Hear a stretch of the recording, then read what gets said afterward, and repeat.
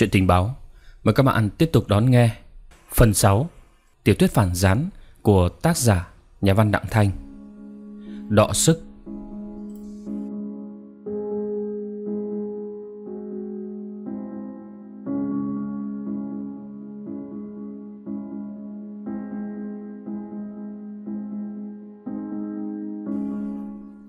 Trương Chính Nghĩa đã từng có những đêm dài hoan lạc ở Tô Châu, ở Thượng Hải và ở những nơi ăn chơi trác táng khác trên đất Mỹ. Nhưng không nơi nào gã thấy thích thú bằng ngủ đò trên sông Hương.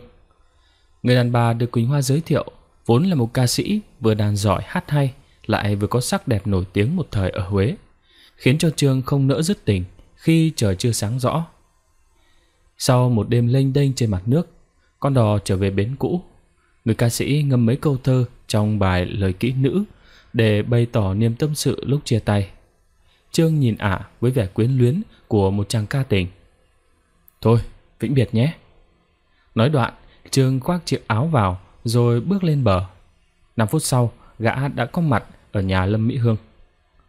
Sử Quốc Anh đón Trương với nét mặt như có điều gì bất lành vừa xảy đến. Hắn chỉ con chó nhà Lâm nằm co quắp ở chân cầu thang và nói Đêm qua có kẻ vào bỏ thuốc nó Trương giật mình, liếc nhanh về phía phòng ngủ hỏi. Kẻ trộm à? Có mất gì không?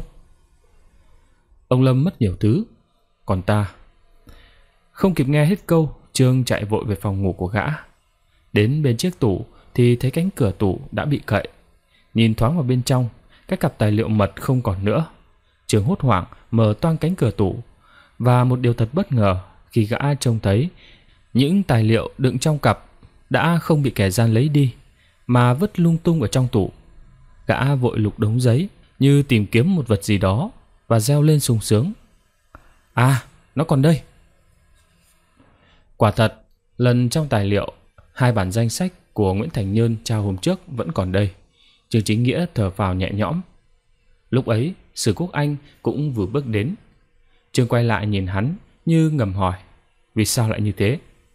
Sử Quốc Anh hiểu ý và nói, Lúc đầu trước khi trông thấy các bản danh sách cũng như tài liệu, báo cáo không bị lấy cắp, tớ cũng cho rằng đây không phải là một vụ trộm thông thường, vì hành động của kẻ gian rất táo bạo. Không những chúng thuốc chết con chó, mà cả gia đình chủ nhà ở dưới cũng như tớ trên này đều bị sông thuốc mê nên ngủ mê man. Sao? Thương mở to mắt nhìn A Sử, không hiểu ai nói mà biết bị sông thuốc mê. A Sử chỉ mấy cây nhang còn cắm ở một khe cửa và nói Cậu đến đó, tớ sẽ cho cậu biết. Đến nơi, A Sử đưa tay mở rộng cánh cửa rồi chỉ vào một ống máng thoát nước trên mái xuống sân bên cạnh cửa sổ và nói Từ dưới đất, kẻ gian trèo ngược lên trên đường ống thoát nước này. Chúng cắm những cây nhang có tầm hương mê vào khe cửa rồi đóng kín cửa lại. Khói hương tỏa ra trong phòng, người nào hít phải chỉ trong giây phút là ngủ như chết, dù có tiếng súng bên tai cũng không hay biết gì. Nhưng Trường bỗng ngắt lời. Ngày thường cậu rất tỉnh ngủ, hơi động đã thức dậy kia mà. Đêm qua, sau lúc cậu đi, tớ không biết gì nữa. Có gọi con bé phục vụ lên định gạ gẫm, nhưng nó không chịu. Đành lấy bạch bồ đào ra tiêu khiển, không ngờ quá chén. Cho đến lúc nào cậu mới biết bị mất trộm. Lúc ấy vào khoảng 5 giờ sáng, tớ giật mình thức dậy bởi tiếng la lói của gia đình ông Lâm dưới nhà kêu mất trộm. Tớ nhảy xuống giường, nhìn thấy cánh cửa thông xuống cầu thang mở hé. Sực nhớ, khi đêm lúc con bé phục vụ xuống, vì tránh choáng nên tớ quên đóng cửa. Đến tủ mới hay có kẻ gian vào nhà. Thế chúng lấy những gì? Trong lúc hốt hoảng, tớ chỉ lo mất các tài liệu, không nhớ đến những thứ khác. Sau khi trông thấy hai bản danh sách của cậu đem về và cái báo cáo của kỳ hộ quốc dân đảng ở miền Trung, do Vũ Hồng Khanh chuyển cho ta vẫn còn, tớ mới nhớ đến cái ví tiền và giấy tùy thân của chúng ta để trong chiếc cặp, nhưng không thấy nữa đâu. Đến lúc này, Trương Chính Nghĩa mới chợt nhớ ra, lúc nãy gã cũng quên không nhớ đến. Tiền thì không lo, Thương cao mày suy nghĩ rồi tặc lưỡi. Có thể nhờ ông lão chạy được Chỉ có giấy tờ tùy thân mất Thì phiền lắm ta có nên khai báo với Việt Minh về vụ trộm này để xin một giấy chứng nhận không? Không tiện A Sử ạ. Nếu chúng hỏi giấy tờ của ta, ai cấp thì lôi thôi lắm. Cậu quên rằng những thứ đó do Vũ Hồng Khanh làm giả cho chúng ta hay sao? Đã nói bị mất thì còn ai truy nã làm gì? Giả sử chúng tìm ra bọn trộm lấy được chiếc ví, trông thấy những tấm danh thiếp đề tên họ và cấp bậc chúng ta, thì cậu nghĩ sao? Sử Cốc Anh bóp chán suy nghĩ một lúc, nhưng vẫn không tìm thấy lối thoát. Bèn hỏi, thế làm gì bây giờ? Theo kế hoạch, sáng hôm nay chúng ta đi Đà Nẵng. Bởi vì vụ trộm đột xuất này, vào đó cũng không làm gì được nữa. Tốt hơn là trở về Hà Nội. Báo cáo cho tiêu tướng quân biết kết quả công việc, sau đó ra sao sẽ hạ hồi phân giải. Bao giờ chúng ta khởi hành? Cậu xuống bảo với Lâm Mỹ Hương lên đây. Có tiền lúc nào khởi hành lúc đấy. Sử Quốc Anh bước ra chưa đến cửa đã trông thấy Lâm Mỹ Hương từ dưới đi lên. Theo sau Lâm là cô phục vụ bưng một chiếc khay trên có thức ăn sáng và hai ly cà phê bốc khói. Đặt ở trên bàn rồi trở xuống. Lão già khúm núm chào Trương Chính Nghĩa. Kính chào đại tá. Chào ông chủ. Trương gật đầu chào và nói với vẻ hạnh hoẹ. Ông chủ có biết chúng tôi mất trộm hết cả tiền và giấy tờ không? Việc này mà đến tai tiêu tướng quân thì phiền lắm. Vâng, thưa đại tá. Lâm Mỹ Hương xoa xoa bàn tay lên cái đầu chọc của lão, vừa bằng. Con chó nhà tôi khôn lắm.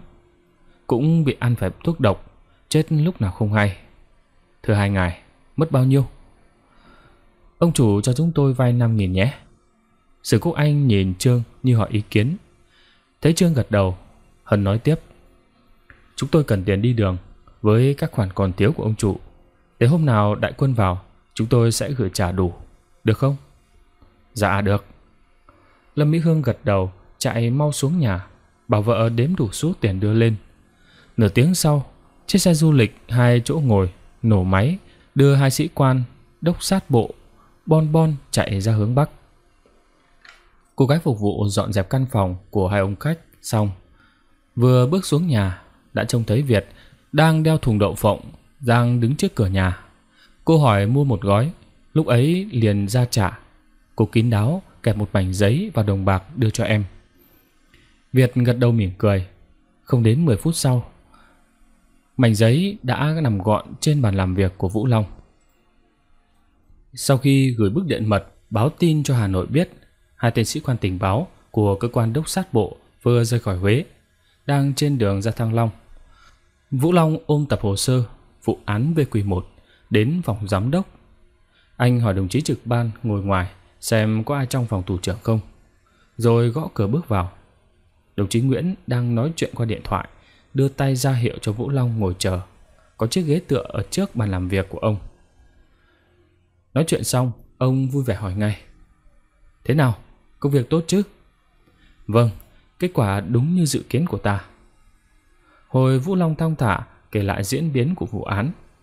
Từ khâu bố trí trinh sát theo dõi Nguyễn Trung Tuyết đến việc Quỳnh Hoa gài bẫy Trương Chính Nghĩa, giới thiệu đồng chí X30 cho gã bắt liên lạc và lý thú nhất là chuyện bố trí cho Trương đi ngủ ở đò rồi cho người giả làm kẻ trộm vào nhà Lâm Mỹ Hương chụp ảnh tất cả tài liệu lấy tiền bạc và giấy thông hành nhằm gây khó khăn trở ngại trong hoạt động tình báo của chúng.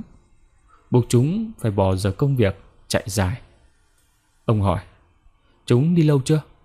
Thưa chỉ cách đây một tiếng đồng hồ. Đã tin cho Hà Nội biết chưa? Rồi ạ. Đồng chí Nguyễn mỉm cười. Cử lắm. Các đồng chí đã làm cho kẻ chiến thắng phải chạy dài và chắc chắn sẽ xa vào lưới. Cuộc đọ sức giữa ta và địch bắt đầu như thế đây. Nào, hôm nay ta trao đổi những vấn đề gì đây? Vũ Long lấy trong tập hồ sơ bản báo cáo tổng hợp tình hình hoạt động phá hoại của địch. Trong đó có phản ánh việc Nguyễn Trung Thuyết đang giáo giết chuẩn bị thành lập quốc quân. Chờ khi quân tàu đến sẽ hành động đưa cho đồng chí xem. Cầm tờ giấy trong tay nhưng đồng chí Nguyễn chưa vội đọc. Ông châm thuốc lá hút và yêu cầu Vũ Long tóm tắt những nét lớn trong bản báo cáo cho ông nghe. Vũ Long nói, theo báo cáo thì đâu đâu cũng có luận điệu phản tuyên truyền của địch. Nào là quân tàu, nay mai đến giải giáp quân Nhật và tước luôn vũ khí của Việt Minh. Nào là cụ Hồ đã từ chức chủ tịch, chính phủ liên hiệp và cụ Nguyễn Hoài Thần đã lên thay thế. Trắng trợn hơn, ở một số nơi xuất hiện truyền đơn ký tên Nguyễn Tường Tam và Vũ Hồng Khanh. Nói xấu Việt Minh, kêu gọi ủng hộ Việt Nam Quốc dân Đảng, gia nhập quốc dân. Ngoài ra, còn có hiện tượng liên kết giữa bọn Việt Quốc với những phần tử phản ánh cực đoan trong Thiên Chúa giáo. Theo tôi, tình hình trên không thể để như thế mãi được. Vũ Long nhấn mạnh, tôi đề nghị đồng chí xin ý kiến của thường vụ cho phá án vụ VQ1, quét sạch bọn phản cách mạng nội địa đang lâm le chờ giặc đến để cấu kết.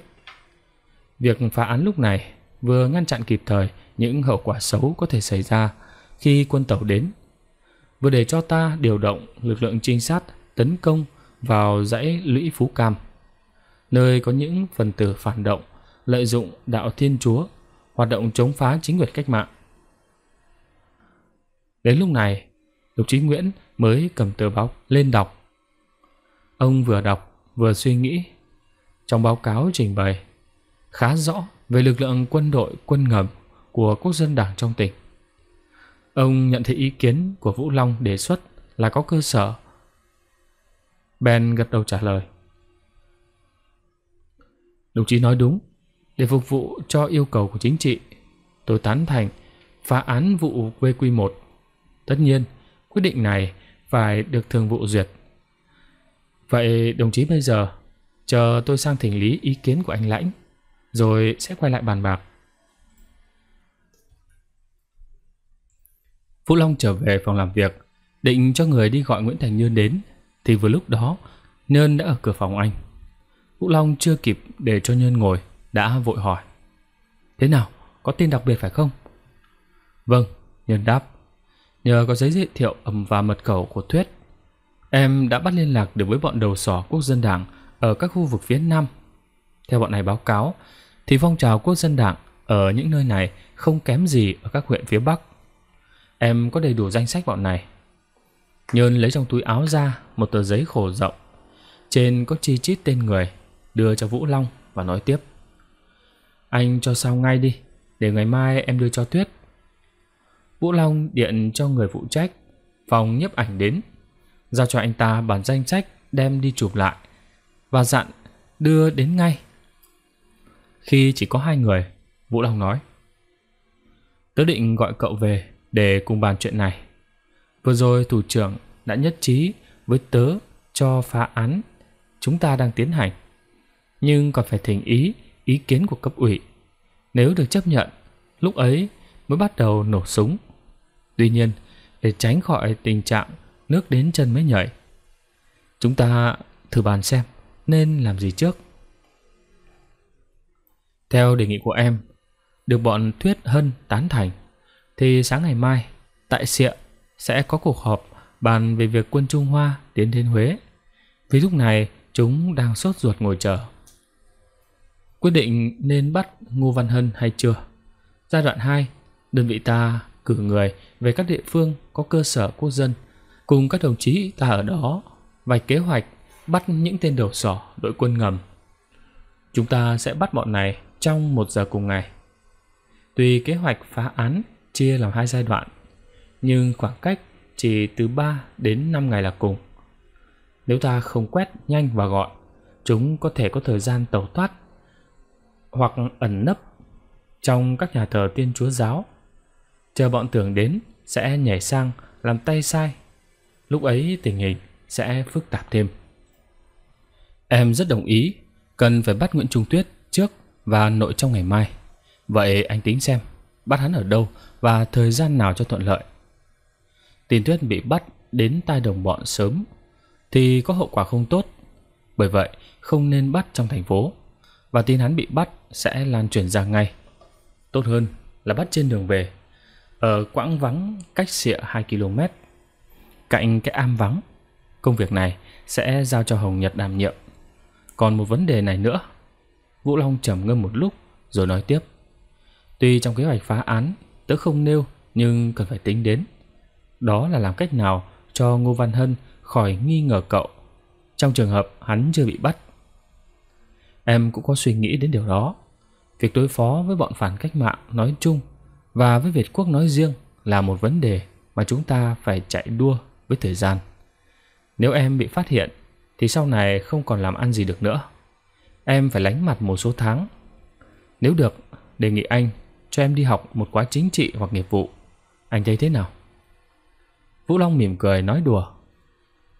Đồng chí Phó Bí thư tỉnh bộ Quốc dân Đảng được Việt Minh bồi dưỡng chính trị và nghiệp vụ thì tốt quá, chứ còn thế nào nữa. Cả hai người cùng cười. Bỗng cửa phòng mở. Đồng chí Nguyễn bước vào. Trông thấy ông, Nguyễn Thành Nhơn vội đứng lên chào. Ông bước đến vỗ vào vai anh. Cứ ngồi tự nhiên. Chính mình cũng đang muốn gặp cậu đây. Vừa nói, ông ngồi xuống chiếc ghế đối diện với hai người, rồi nói tiếp. Thường vụ chấp thuận cho phá án và chỉ thị cho chúng ta phải làm nhanh, gọn trước khi quân đội Trung Hoa đến trong vòng một tuần lễ nữa. Lúc nghe tôi trình bày về đồng chí Nguyễn Thành Nhơn với danh nghĩa là con trai Tuần Vũ Phan Thúc Ngân thâm nhập vào nội bộ quốc dân đảng và đánh lừa thằng đại tá tình báo người Hoa. Thì các đồng chí thích thú lắm. Các đồng chí có nhờ tôi chuyển lời khen ngợi thành tích chung của anh em trong đơn vị và riêng của đồng chí X30. Trở lại vụ án, ông nhấn mạnh. Thường vụ nhắc nhở chúng ta làm sao khi quân đội Trung Hoa tiến vào chiếm đóng Trung Phần thì không còn một cơ sở nào để chúng dựa nữa. Vũ Long bèn báo cáo kế hoạch hai giai đoạn mà anh vừa vạch ra trong đồng chí Nguyễn. Đồng thời cũng trình bày luôn nguyện vọng của Nguyễn Thành Nhơn. Ông nói, Tôi đồng ý với kế hoạch phá án mà đồng chí Vũ Long vừa báo cáo. Tôi chỉ lưu ý một số vấn đề là việc bất ngờ phải làm đúng thủ tục pháp lý để tránh những chuyện lôi thôi. Sau này đối với tòa án. Còn đối với đồng chí Nguyễn Thành Nhơn, ông vui vẻ nói tiếp. Tôi cũng rất tán thành để đồng chí đi dự một lớp bồi dưỡng chính trị cán bộ cấp tỉnh trở ra về nghiệp vụ chiến sĩ tình báo. Nói xong, ông đứng lên bắt tay cả hai người. Ngày 28 tháng 2 năm 1946, Trung Hoa và Pháp ký một hiệp ước ở Trùng Khánh, thỏa thuận để quân Trung Hoa rút về nước. Tiếp đó, theo hiệp định sơ bộ ngày 6 tháng 3 năm 1946 ký kết giữa Việt Nam và Pháp, thì một lực lượng quân đội Pháp được gửi đến thay thế quân đội Trung Hoa, gìn giữ trật tự trong vòng 5 năm ở những nơi chúng vừa rút. Ở Trung Bộ, đặc biệt là từ vị tuyến 16 trở ra, trong suốt thời gian quân Trung Hoa đến giải giáp quân Nhật, cho đến giây phút rút về nước, chúng không thực hiện được âm mưu thành lập một chính quyền quốc dân đảng như chúng mong muốn. Bởi vì cơ sở của bọn này ở miền Trung đã bị chính quyền nhân dân quét sạch. Hôm ấy, tại Sở Công an Trung Bộ, Vũ Long đang làm việc ở trong phòng, thì đồng chí Nguyễn bước vào. Sau khi ngồi xuống ghế, ông thân mật hỏi. Lâu nay đồng chí có thường gặp đại tá Iawa không? Dạ vẫn gặp ạ. Tình hình tư tưởng của ông ta và thái độ của cô Hải Đằng nay như thế nào? Như trước đây tôi đã báo cáo, khi quân Trung Hoa đến, tên tướng Hạ Kiếm Tu, người của Lam Y Đảng, đã cho bọn tay sai Lâm Mỹ Hương và Huỳnh Đại Hồng đi dò la tin tức của Igawa dữ lắm. Nhờ được bảo mật phòng gian tốt, nên mặc dù có lần chỗ ở bị phát hiện, nhưng chúng tôi đã kịp thời đưa ông ta đến một nơi an toàn ở ngoại thành. Vừa rồi, ông ta có nhắn tôi đến gặp và ngỏ ý xin được vào Nam chiến đấu. Và cô Hải Đàng xem ra cũng mến ông ta nên vẫn thường xuyên đi lại thăm viếng. Nhờ đó, ông ta bớt phần cô quạnh. Đồng chí hãy viết cho tôi một bản tường trình nói rõ tất cả sự đóng góp của Iawa từ ngày về với ta để tôi trình lên thường vụ xét và quyết định. Tôi tin rằng nguyện vọng của ông ta thế nào cũng sẽ được chấp thuận. Với thói quen lúc nói chuyện, đồng chí Nguyễn lấy thuốc lá ra hút. Vũ Long nhận thấy chỉ trong thời gian mấy tháng sau ngày cách mạng thành công mà tóc ông đã điểm bạc nhiều hơn trước. Người ông cũng gầy đi đôi chút so với lúc ông được máy bay thả rủ xuống. Anh có rất nhiều tình cảm khác nhau đối với ông. Anh thương ông vì thấy ông làm việc và suy nghĩ quá nhiều. Anh kính trọng ông vì ông là một con người đức độ, biết thương yêu và chăm sóc đời sống của anh em. Anh cũng rất khâm phục ông vì nhờ ông mà anh rút được bao nhiêu kinh nghiệm trong công việc. Vũ Long biết đồng chí Nguyễn dành cho anh một mối tình cảm đặc biệt. Trong công tác, anh được ông tận tình chỉ bảo, nên những đức tính của một cán bộ phản gián tài giỏi đã dần dần hình thành trong con người anh. Giữa lúc Vũ Long đang thầm nghĩ về ông, thì đồng chí Nguyễn đột nhiên hỏi. Cô Quỳnh Hoa vẫn ở quán Hương Nguyên đấy chứ? Thưa vâng. Bao giờ đồng chí cho tôi biết tin vui? Vũ Long chưa hiểu ý ông muốn nói gì, bèn ngập ngừng hỏi lại. Thưa, tin vui nào ạ? Đồng chí Nguyễn mỉm cười.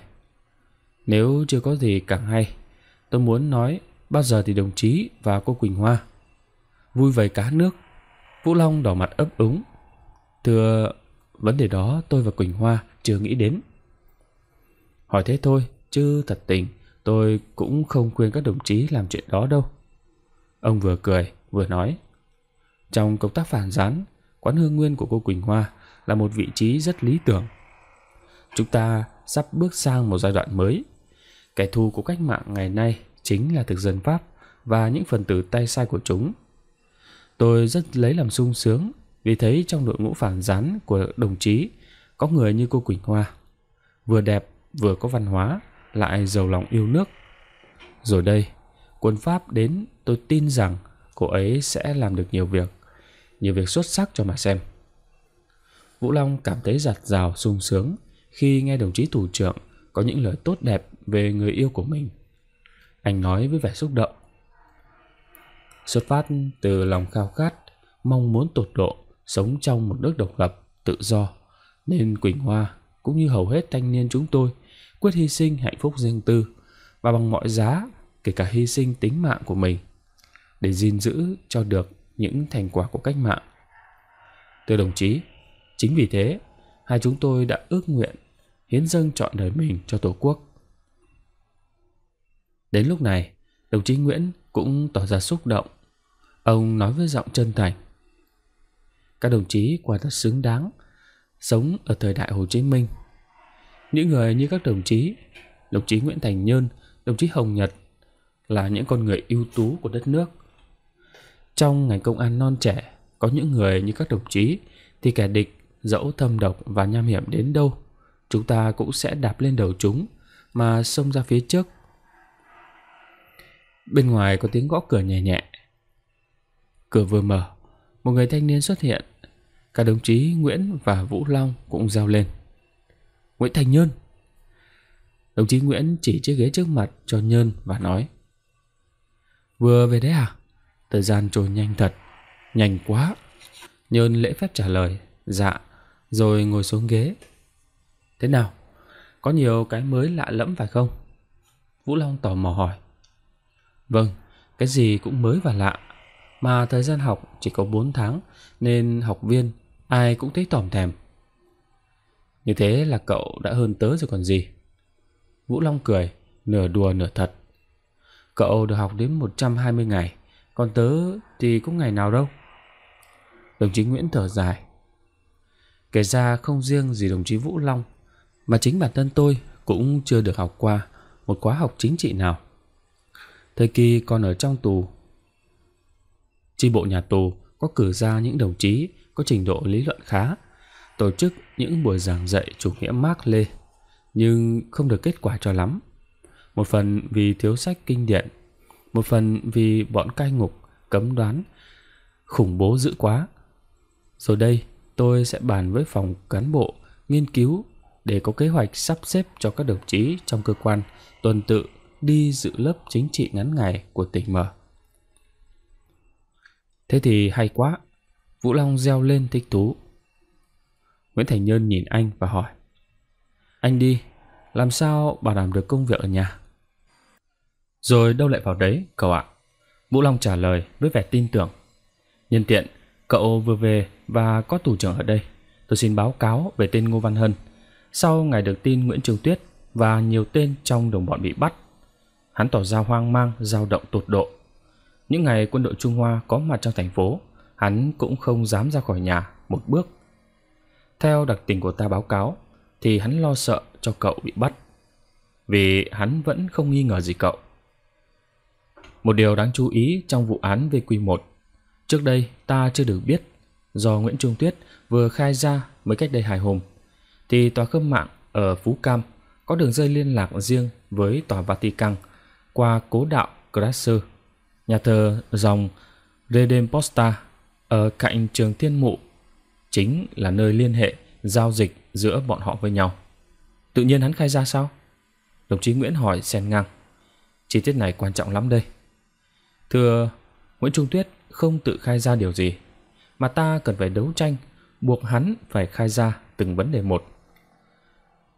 Mặc dù bắt được quả tang bản danh sách đảng viên Việt Quốc trong người, hắn vẫn không chịu nói ai đã cung cấp cho hắn những tài liệu này. Đến lúc bị chất vấn, và vào thế bí, hắn mới khai ra. Ngô Văn Hân Vũ Long liếc nhìn Nguyễn Thành Nhân, nói tiếp. Tuyết tịch không đả động đến Phan Thức Nhân, con trai tuần vũ Phan Túc Ngân, là người trong tổ chức đã cung cấp cho hắn những tài liệu không kém phần quan trọng so với Ngô Văn Hân. Thế còn việc liên hệ giữa tòa khâm mạng với tòa thánh Vatican qua cố đạo Crasser, vì sao hắn lại khai ra? Đó là nhờ sự theo dõi của ta, nên ta biết Thuyết đã một lần lên Kim Long vào Đại trùng viện tại cuộc họp ở Đại trùng viện. Sau này qua công tác siêu tra của đồng chí Hồng Nhật, linh mục Cao Văn Luận phổ biến thông điệp của Tòa Thánh Vatican gửi cho Tòa Khâm Mạng ở Phú Cam, nhắc nhở việc tăng cường giáo lý, dùng quyền lực của giáo hội, siết chặt hàng ngũ giáo dân bằng cách đưa vào các tổ chức thiên chúa giáo, cấm không cho giáo dân tham gia các đoàn thể cứu quốc của Việt Minh. Qua quá trình đấu tranh và sau khi tự nhận thấy không còn cách nào chối cãi được nữa, Thuyết mới chịu nói ra những điều đó. Cha cha, đồng chí Nguyễn cau mày. Như thế là chúng đã công khai tuyên chiến với ta rồi đấy. Bọn này không như bọn trước, chúng nó có dinh lũy ở khắp mọi nơi và một lực lượng đông đảo quần chúng làm hậu thuẫn. Không những có sự chỉ đạo chặt chẽ từ trên xuống, mà còn có bàn tay lông lá ở bên ngoài thọc vào. Quả thật, đây là một vấn đề lớn, lớn lắm các đồng chí ạ. Trong việc đối phó với chúng, nhất nhất từ việc lớn đến việc nhỏ đều không phải thông qua sự chỉ đạo của đảng. Đó là một nguyên tắc trong công tác phản gián mà chúng ta không bao giờ được quên. Rồi ông quay sang nhìn Nhơn, thân mật nói Hãy về nghỉ ba hôm, tôi cho phép chuyển lời tôi hỏi thăm sức khỏe bà cụ nhé. Còn lại hai người, Vũ Long lấy trong ngăn kéo bàn ra một bao thuốc lá thơm cổ táp đưa cho Nhơn.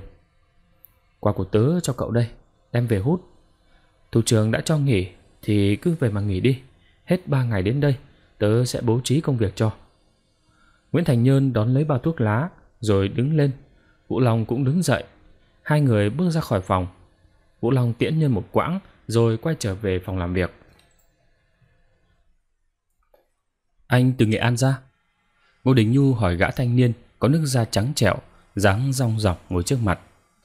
Bác nhà có được khỏe không? Gã buồn rầu trả lời. Thầy tôi bị Việt Minh bắn chết rồi. Chúng tịch thu hết tài sản, ruộng đất, nói là cốt bóc lột khi làm quan. Mẹ tôi đã về ở nhờ bên bà con bên ngoại, còn tôi vừa ở Huế ra. Ngô Đình Nhu tỏ vẻ bùi ngùi. Anh sẽ là khách của tôi trong thời gian ở đây. Anh Phan Thúc Định ạ. Cụ thượng, anh tôi với cụ nhà vốn là bạn đồng liêu. Anh cứ ở đây, coi như trong gia đình, có gì sau sẽ liệu. Thế là bắt đầu từ hôm ấy, Phan Thúc Định ở lại nhà Ngô Đình Nhu tại khu phố X, thủ đô Hà Nội. Tuy được giữ làm giám đốc thư viện quốc gia, nhưng Nhu vẫn luyến tiếc những ngày vàng son trước cách mạng tháng 8. Đồng lương, giám đốc trước kia được Pháp Nhật trả, Nhu ăn tiêu sung sướng. Trong nhà có người hầu kẻ hạ, đi đâu một bước đã có ô tô. Cách mạng lên, những thứ đó không còn nữa. Chị Vũ Con Sen đều trở thành những chị cứu thương, những cô y tá. Xe chỉ về để đi công tác. Nhưng thực ra, đó chưa phải là nguyên nhân chính gây cho Nhu thâm thủ cách mạng. Cái tin Ngô Đình Khôi, anh cả trong gia đình họ Ngô, bị bắn chết ở Thừa Thiên sau ngày Việt Minh lên nắm chính quyền, làm cho Nhu bàng hoàng không ngủ mấy đêm liền. Sau đó không lâu, Nhu lại được tin Ngô Đình Diệm, người anh thứ ba của Nhu, bị bắt ở Quảng Ngãi. Nhu tưởng rằng Nhiệm cũng sẽ chung số phận với anh Khôi. Ai ngờ lại được cụ Hồ đánh điện bảo đưa ra thủ đô cho gặp cụ. Thế là Diệm thoát chết. Sáng hôm ấy, Nhu đi lễ nhà thờ, hàng B gặp Diệm. Nhu kể chuyện Phan Thúc Định đến nhà cho biết tin bố anh ta là cụ Tuần Ngân không còn nữa. Nghe Ngô Đình Nhu nói, Diệm sướng sốt. Lạy chúa, thật à? Vâng, anh ấy hiện ở nhà em. Diệm trầm ngâm một lúc rồi ngước lên nhìn Nhu. Như chú đã thấy, anh Khôi chỉ vì đàn áp cách mạng và ăn đút lót của dân nên bị Cộng sản giết. Còn cụ Ngân, trong thời kỳ làm tuần vũ ở Hà Tĩnh, giết chóc nhiều và làm lắm chuyện thất đức cũng không tránh khỏi bàn tay của Cộng sản. Còn tôi, vì liêm khiết, treo ấn tử quan từ lâu nên được cụ Hồ Chí Minh biết đến. Nhờ đó mới thoát chết. Tuy vậy, mỗi ngày còn ở đây là một ngày như cá nằm trên tớt.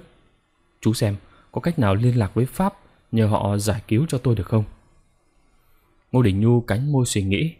Điều mà Diệm vừa nói ra không phải là Nhu chưa tính tới. Ngay từ dạo quân Pháp của tướng Le Select đến Hà Nội, hắn đã bí mật liên lạc với phòng nhì và có lần đề nghị với chúng tìm cách cứu thoát anh hắn. Thời kỳ đó, Diệm còn ở Bắc Bộ Phủ. Khó bề thực hiện, nên phòng nhì Pháp hẹn khi nào có cơ hội thuận tiện sẽ giải quyết. Lúc này, phải chăng là cơ hội đã đến? Nhu bèn thú nhận. Thưa anh, em đã bắt liên lạc với phòng nhị Pháp và cũng đã tính đến chuyện nhờ họ bố trí đưa anh ra nước ngoài. Nhưng chưa có thời cơ. nay nhân dịp anh đã được về đây, lại có thêm Phan Thúc Định. Để em bàn việc này với họ xem sao. Diệm có vẻ vui lòng gật gù. Dứa mà chú không cho tôi biết, việc Nhi quan trọng lắm. Chú phải bàn thật kỹ với họ. Về nói với Định đến gặp tôi nghe. Thư viện quốc gia là nơi người ta đến đọc sách, mà cũng là nơi Ngô Đình Nhu hẹn gặp bọn gián điệp nước ngoài. Hôm ấy, qua một phụ nữ lai Pháp, Nhu gửi phòng nhì một bức thư yêu cầu bố trí cho Phan Túc Định vào thành gặp tướng Moclier đề nghị giúp Diệm trốn ra nước ngoài. Được gặp tên tướng Pháp, Định đưa bức thư của Diệm gửi với lời lẽ thống tiết xin cứu mạng. Đọc xong thư, Molière cho gọi sĩ quan chỉ huy phòng nhì đến, giao định cho hắn để bàn kế hoạch giải cứu Diệm. Thực hiện kế hoạch đó, ba hôm sau, một đêm tối trời, Phan Thúc Định hóa trang ngồi trên một chiếc xe hơi nhà binh Pháp, đi đến chỗ quy định đón Ngô Đình Diệm, đưa thẳng vào doanh trại quân đội Pháp trong thành. Việc giải thoát cho Diệm thế là được chót lọt và cũng bắt đầu từ đêm hôm ấy định trở thành nhân viên của phòng nhì Pháp. Để che mắt công an và những kẻ tò mò, Ngô Đình Nhu cấp cho Định một giấy chứng nhận là nhân viên Thư viện Quốc gia Trung ương, rồi hợp thức hóa bằng cách xin ở đồn công an hàng trống một giấy thông hành cho gã đi lại. Từ đó, với danh nghĩa là một công chức cũ, Phan Túc Định ngang nhiên sống ở thủ đô, làm tay sai cho giặc Pháp. Một hôm, Ngô Đình Nhu ngỏ ý nhờ Định mang một bức thư cho khâm mạng Drapier ở Huế. Nhu nói, Vừa rồi tôi nhận được của Đức Khâm Mạng một bức thư cho biết sắp tới ngài sẽ tổ chức một cuộc hội nghị bàn công việc giáo hội liên quan đến ba xứ Trung, Nam, Bắc. Ngài mời tôi về dự. Nếu tôi không đi được thì cử người mang thư về cho ngài. Anh xem, tôi lấy lý do gì để đi và vị tất công an Việt Minh đã cho đi. Bởi vậy, tôi nhờ anh giúp tôi việc này nhé. Phan Thúc Định suy nghĩ một lúc rồi trả lời. Thưa ông, được ạ. Ngô Đình Nhu xoa hai bàn tay, mỉm cười nhắc lại. Tôi biết, chỉ có anh mới giúp được tôi mà thôi. Công việc này cũng không kém phần quan trọng, như lần anh đưa cụ thượng vào thành. Thưa ông, Phan Thúc Định hỏi. Cụ lớn nhà ta hiện nay ở đâu? Ông có được tin tức gì không? Từ ngày được người Pháp đưa sang Hồng Kông, sau đó cụ thượng sang Nhật Bản thăm kỳ ngoại hầu, rồi đi đâu tôi cũng không rõ. Cầu chúa ban phúc lành cho cụ lớn nhà ta. Phan Thúc Định nói với vẻ tôn kính, mong sao cụ lớn chóng trở về. Tôi cũng mong như vậy, cho đất nước sớm được cứu nguy. Nét mặt Ngô Đình Nhu đanh lại. Hắn nói qua kẽ rằng Mà có nhất thiết phải đợi cho đến ngày cụ thượng về không? Không, không nên như vậy. Ngay từ bây giờ, nếu làm được bất cứ việc gì sẽ thấy có hại, dù lớn, dù nhỏ cho Việt Minh, thì ta cứ làm, không do dự. Như công việc anh đang làm cho phòng nhị Pháp là rất tốt đó, anh Định ạ. Dạ, tôi cũng xác định như thế và nguyện làm hết sức mình để sớm trả mối thù cho nhà, cho hương hồn ông cụ tôi được ngậm cười nơi chín suối. Ngô Đình Nhu lấy một bức thư dán kín, đưa cho Phan Thúc Định. Theo lời Đức Khâm Mạng viết trong thư, thì Ngài sẽ chủ tọa cuộc hội nghị quan trọng này. Có đại biểu các địa phận, các sứ về dự. Tại cuộc họp, Ngài truyền đạt thông điệp của Tòa Thánh và sau đó sẽ bàn kế hoạch chống phá lâu dài bằng cách nào hữu hiệu nhất. Tôi không đi được là một điều đáng tiếc. Nhờ anh chỉnh lên đức cha lá thư này. Trong thư có góp một số ý kiến và giới thiệu anh với ngài. Phan Thúc Định đón lấy bức thư, rồi cẩn thận cho vào túi áo trong, rồi cúi đầu chào Ngô Đình Nhu. Ra khỏi nhà, Phan Thúc Định thong thả theo đường bờ hồ Hoàn Kiếm về nhà. Từ sau ngày đưa Diệm vào thành, gã thuê được căn phòng ở gác 2 phố Hàng Gai của một bà cụ già trên 60 tuổi. Bà cụ quá chồng ở với một đứa cháu gái ở tầng dưới. Chồng thấy định bước vào, cụ chủ nhà niềm nở chào. Hôm nay cậu đi làm về sớm vậy, đã ăn cơm chưa? Thưa cụ, hôm nay cháu mệt, xin phép ông giám đốc về sớm một chút. Cháu cháu đã ăn ngoài phố rồi ạ. Định trả lời qua loa rồi bước lên cầu thang vào phòng. Căn phòng rộng, mỗi chiều chưa đến 5 mét, chỉ kê được một cái giường gỗ, một cái bàn làm việc đặt ở cạnh cửa sổ và một chiếc ghế tựa. Định đến ở đây thấm thoát đã 3 tháng và tuyệt nhiên không một bạn bè nào lui tới. Hàng ngày, hai buổi, Định đi về đúng vào giờ giấc của những viên chức làm việc ở cơ quan nhà nước để che mắt những người xung quanh. Tuy nhiên, nếu có cặp mắt bí mật nào theo dõi thì trông thấy Định không đến một cơ quan nào cả, mà bắt gặp gã thường hay lảng vảng những nơi có doanh trại vệ quốc quân, các trụ sở tự vệ cứu quốc và các nhà máy trong và ngoài thành phố. Đến tối, gã làm báo cáo, vẽ sơ đồ các địa hình địa vật những nơi đó, để sáng hôm sau đi đến một địa điểm được quy định trước, trao lại các tài liệu đã điều tra cho một nhân viên phòng nhị pháp. Lúc này cửa sổ đóng kín và Định cũng chẳng bật đèn. Trong phòng tối lờ mờ, gã cởi áo ngoài, choàng vào chiếc ghế tựa, kéo ngăn bàn ra, lấy hai viên thuốc an thần, rồi rót nước uống. Xong, gã nặng nề buông người xuống chiếc giường. Hai viên thuốc an thần làm dịu bất thần kinh. Lúc đầu, gã nghĩ đến cảnh thơ ấu của mình sống trên tràn dưới đệm, kẻ hầu người hạ, từ bố mẹ quý như ngọc, như vàng. Lớn lên được cho ra Hà Nội ăn học, thi đậu vào trường luật, Tưởng rồi đây tốt nghiệp ra trường sẽ theo con đường quan lộ của bố, tha hồ làm giàu, mà lại có thêm quyền uy. Nào ngờ cách mạng tháng 8 nổ ra, làm tan biến giấc mộng làm quan của gã. Cả nước đổi đời, cả dân tộc đổi đời. Mọi việc đều hoàn toàn khác trước. Gã hẳn học nhìn những cuộc biểu tình của nhân dân từ thành thị đến nông thôn. Đụng một cái, người ta lôi bố gã ra trước một phiên tòa được thành lập ngay trong địa phương nhà. Chủ tọa phiên tòa là một anh nông dân trước cách mạng tháng 8 làm thuê cho gia đình gã.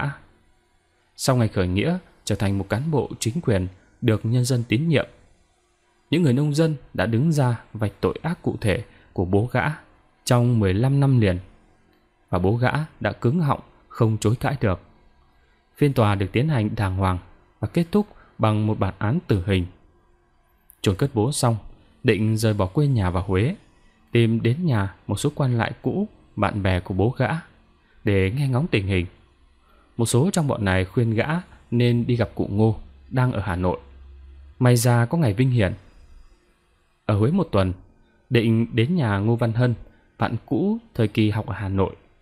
Gặp nhau chừng 10 phút, định chưa kịp kể hết cho bạn nghe hoàn cảnh gia đình, thì người nhà Hân báo vợ Hân chuyển bụng sắp đẻ. Hân bèn xin lỗi đưa vợ đi bệnh viện. Hôm sau lên tàu ra Hà Nội. Ừ, chuyến đi này về Huế ghé lại nhà Hân. Định nhủ thầm. Có lẽ phải nhờ anh ta đưa đến giới thiệu với Đức Khâm Mạng. Đến đây, hai viên thuốc an thần đã ngấm, định ngủ tiếp đi lúc nào không hay. Ngô Văn Hân đang đi lững thững dọc theo bờ sông, vừa qua khỏi cầu Đông Ba, chừng 10 bước, bỗng nghe phía sau có tiếng gọi tên mình. Hân quay đầu, thấy hai người thanh niên ăn mặc da dáng là đội viên tự vệ từ gầm cầu bước về phía hắn. Hân ngờ ngợ, hắn cảm thấy điều gì không hay sắp xảy đến. Tim đập mạnh, nhưng hắn vẫn tỏ vẻ lịch sự. Ai gọi tôi vậy? Một trong hai người thanh niên trả lời. Tôi, chúng tôi là công an trung bộ đây. Ông theo chúng tôi về trụ sở có việc cần. Nghe đến hai tiếng công an trung bộ, Hân giật mình, nghĩ tới chuyện bắt bớ. Tuy vậy, hắn làm bộ ngạc nhiên. Các anh đừng nói đùa, công an sao lại bắt người ở giữa đường? Người thanh niên thứ hai chĩa khẩu súng ngắn vào Hân và ra lệnh. Không ai nói đùa với ông. Ông đi theo chúng tôi và đừng có hỏi lôi thôi nữa. Ngô Văn Hân không dám kháng cự. Hân bị dẫn xuống một chiếc đò che kín mui đậu cách cầu khoảng 15 mét. Sự việc xảy ra rất nhanh, không đến 3 phút. Đường phố lúc này lại vắng người nên không một ai hay biết. Chiếc đò chở Hân và hai người thanh niên trèo nhanh ra bờ sông Hương, rồi quay mũi xuôi về cồn hến. Hân được đưa về một ngôi nhà gạch ở phía cầu cồn. Nhà vắng vẻ, người thanh niên có súng bảo hắn ngồi ở bộ ghế tràng kỳ, rồi đứng chặn ở cửa ra vào canh chừng còn người kia đi đâu một lúc trở về. Theo sau là một anh cán bộ trẻ mang kính cận trắng với chiếc sắc cốt da đeo lủng lẳng bên hông.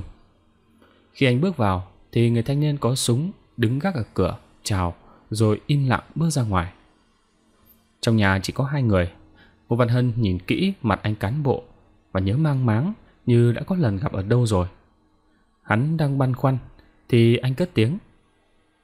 Ông Hân, có phải ông ngạc nhiên vì sao người ta bắt ông lại không đưa về sở công an mà dẫn ông về đây? Nghe giọng nói vừa ấm vừa thanh của anh cán bộ, Hân chợt nhớ ra, đó là Vũ Long. Rồi hình ảnh của người thanh niên trong đêm cắm trại ở Bạch Mã năm xưa dần dần hiện ra trong trí nhớ của hắn. Hồi bấy giờ, tuy không thích Việt Minh, nhưng khi nghe Vũ Long ngâm bài thơ Ly Diệu Thọ, Hân cũng thấy khoái. Bởi vì đảng Việt quốc của hắn cũng chống bọn Đại Việt quốc xã của Lê Mậu Thành. Thấy Ngô Văn Hân ngồi im, Vũ Long nhắc. Thế nào, ông Hân? Vâng. Ngô Văn Hân như chợt tỉnh. Chính điều đó làm cho tôi thắc mắc ông Vũ Long ạ. Vũ Long ngạc nhiên, không hiểu vì sao hắn lại biết anh.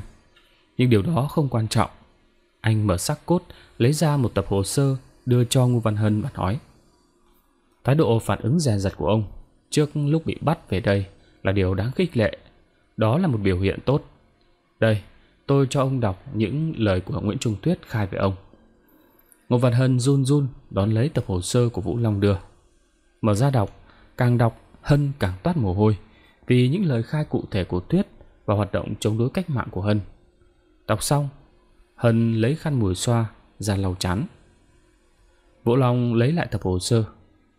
Ông thấy Nguyễn Trung Tuyết khai ông như thế có đúng không? Ông có cần thanh minh hay bổ sung gì không?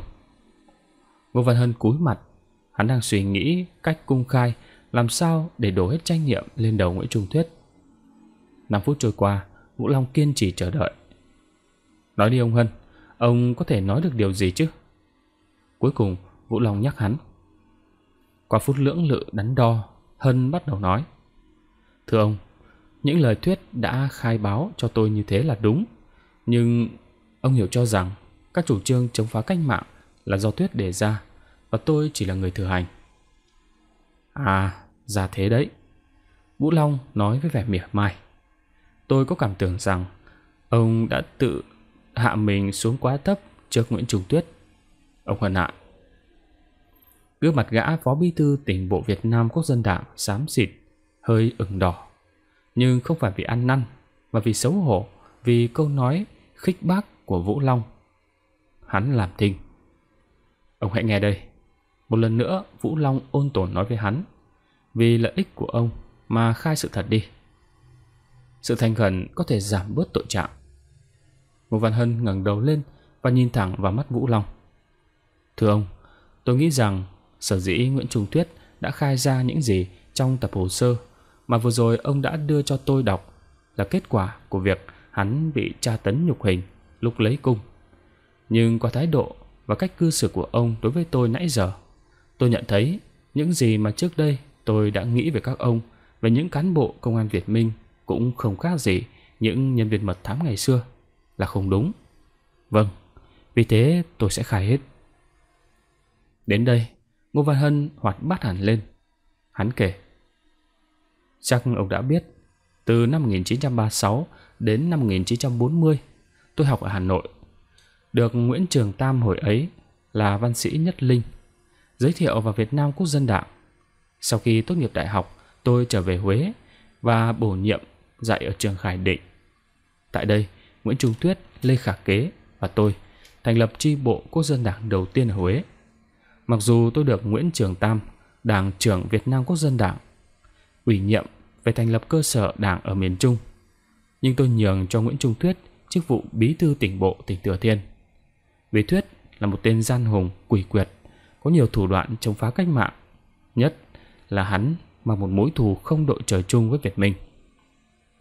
Tôi thừa nhận là tôi có ảnh hưởng lớn đối với tín đồ Thiên Chúa giáo ở Sịa và đối với phong trào quốc dân đảng ở ba huyện miền Bắc, như là Nguyễn Trung Tuyết đã khai trong tập hồ sơ này. Cha tôi là chùm họ đạo sứ văn lễ. Điều này tuy Tuyết không nói đến, nhưng tôi khai ra để không hay rằng gia đình tôi là một gia đình đạo dòng. Tôi được Đức Khâm Mạng tin yêu và đã có lần được Ngài ban phép lành. Sau ngày Nguyễn Trung Tuyết bị bắt, tôi không dám đi đâu cả vì sợ hãi. Gần đây tôi mới bắt đầu đi lại. Bây giờ tôi hiểu rằng Mọi kỳ vọng mà trước kia Nguyễn Tường Tam hứa hẹn Sẽ đem lại cho nước Việt Nam Trên cơ sở chủ nghĩa tam dân Chỉ là ảo ảnh. Vì lý thuyết đó hoàn toàn không phù hợp Với một dân tộc đã bao năm Rên xiết dưới ách thống trị của thực dân và phong kiến. Ngày nay đang bắt đầu hồi sinh. Và kết quả là tôi phải ngồi trước mặt ông hôm nay. Giờ đây, nếu tôi có thể làm được một việc gì để chuộc tội, Thì tôi sẽ cố gắng. Tôi xin thành thật nói như vậy, Mong ông suy xét. Và điều quan trọng là từ trước đến nay, Tôi chưa có hành động chống phá cách mạng Và không có nợ máu với ai. Giọng nói của Hân nhỏ dần, Rồi bắt hẳn. Vũ Long không ngờ Ngô Văn Hân kết thúc lời khai một cách đột ngột như vậy. Anh nghĩ thầm Điều hắn nói có thể tin được Và hắn cũng không hơn gì đồng bọn đã bắt đầu mặc cả, tìm cách để được khoan hồng. Nếu ông đã thấy được như vậy là tốt. Vũ Long nhẹ nhàng nói. Ông biết đó, chúng tôi có đầy đủ bằng chứng để bắt ông về tội hoạt động phản cách mạng. Nhưng chưa bắt cũng vì nghĩ rằng ông có khả năng cải tà quy chính. Giờ đây, chúng tôi muốn ông chứng tỏ điều đó. Ngô Văn Hân ngồi im. Chúng tôi muốn ông giúp việc cho công an. Vũ Long nói. Sau một hồi lâu im lặng. Ông thấy thế nào? Nếu được chính quyền khoan hồng thì tôi sẵn sàng nhận.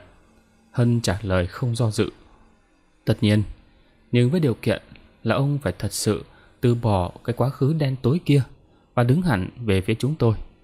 Rồi đây, ông sẽ được giao một số công việc trong hoàn cảnh và phạm vi khả năng của ông.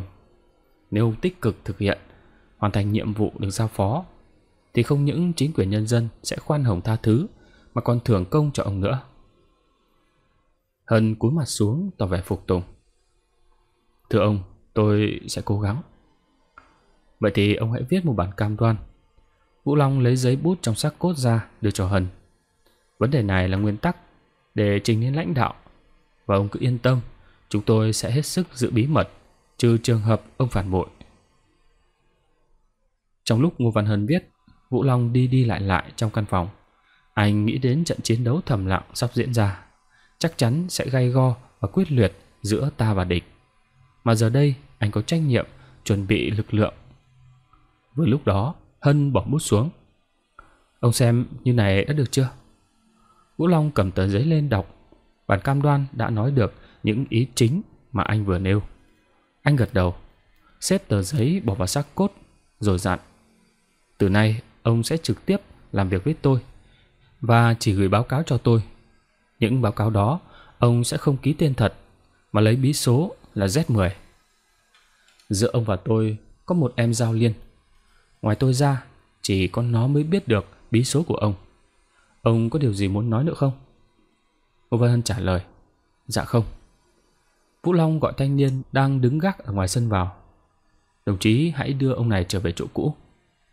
Nói rồi, anh đưa tay cho Hân bắt và theo người thanh niên thứ hai đi vào một ngõ tắt ở trong xóm. Các bạn vừa nghe xong phần 6 Tiểu thuyết phản gián của tác giả Đặng Thanh được mang tên Đọ Sức. Nếu thấy hay, các bạn hãy bấm đăng ký và chia sẻ và không quên để lại một bình luận thể hiện cảm xúc của mình. Chuyện tình báo xin chân thành cảm ơn. Hẹn gặp lại các bạn vào chương trình 20 giờ tối ngày mai.